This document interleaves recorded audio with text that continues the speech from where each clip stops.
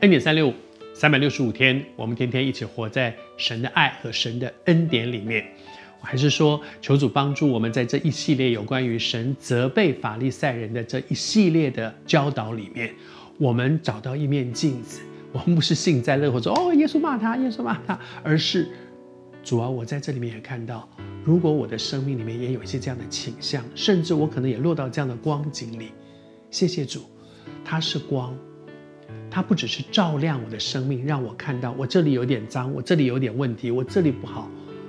它是光，光进来，黑暗就出去了。神的道不只是指出我生命的问题，它改变我们的生命。奉主的名祝福你，但愿这些耶稣所有的讲论，在我们的里面成为那个改变的力量。神的道是带着改变的力量，因为他的道是。真理，耶稣继续的提醒当时的，也责备那些法利赛人。他说：“那些法利赛人，他们太喜欢做师傅、做教师，喜欢教导别人，然后他们就去呃研究圣经，研究很多，然后教导别人，然后就说你这个不对，你那个不对。但是做教师的人有一个很重要的一件事情，所有的教导都在告诉别人一个价值观。”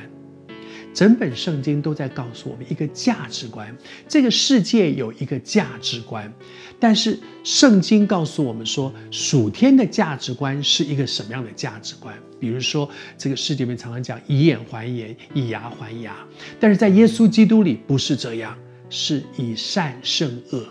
我求主施恩恩待我们，恩待我们有一个从圣经而来，从十字架的救恩而来的一个属天的价值观。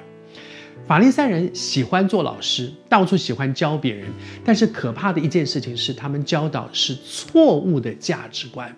比如在这里，耶稣指出，他说：“他说你们教导别人哈，说指着圣殿启示呢，算不得什么；指着圣殿里面的那个金子启示呢，哦，那就很重要了。”他说：“到底什么是更重要的呢？是圣殿，圣殿是敬拜神的地方。”到底是圣殿比较重要，还是那个圣殿里面那个金子比较重要呢？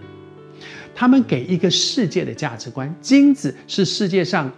所有的金属当中可能是非常非常尊贵的，至少在当时的时代可能这样认为，那是最尊贵的。哇，金子比银比铜都有用。金子，他们给一个价值观，是一个属世的价值观，